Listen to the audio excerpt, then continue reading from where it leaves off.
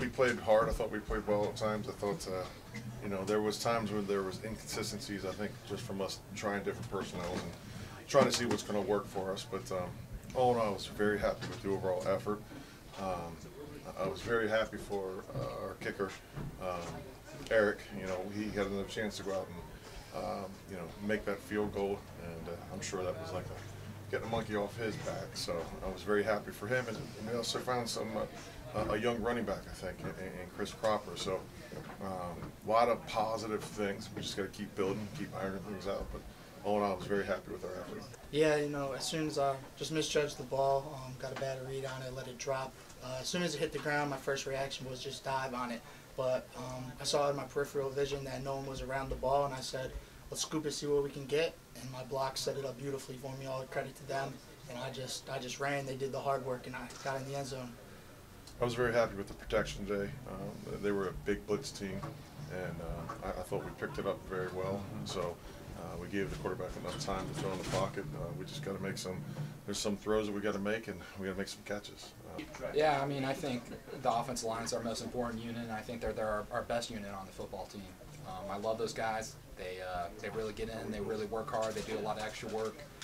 I mean, we have tremendous senior, senior leadership on the offensive line. I mean, I trust them with all my life, and uh, I was real proud of them last week, today, every day in practice.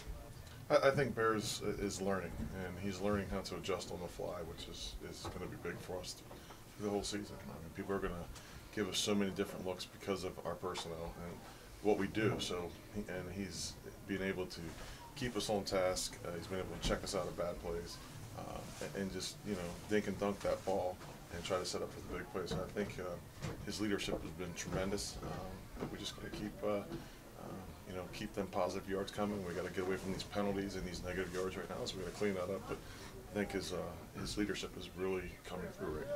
Grab the pass to Terrell Johnson. Put it in your words. What went down on that play? Yeah, I saw it was man coverage, and um, you know the the number 26 who was on him, he was backpedaling and he turned, flipped his head or hips the wrong way. So I just thought, you know, why not? I mean, he's, he's, I mean, he's six seven, and you know the the DB was like five eight. So. Yeah, we have great leaders in front of us. When I was a freshman, it was uh, Lorenzo and Delando. Lorenzo helped me out so much just as a freshman. And for Jaron, you had people like Jalen Wells, Malik Duncan. All, all those players I just named, they know football inside and out. They know this defense inside and out. So when you got someone in front of you like that, makes the game so much more easier. And our coaches do a great job of coaching up uh, the defense, making sure we know what we're doing at all times. And I, I say it, I say it every year. Any one of our DBs could start. I mean, we're all that talented. We all got that athletic ability. It's just, uh, unfortunately, we can't play us all, but we're all ready to go if we need to be.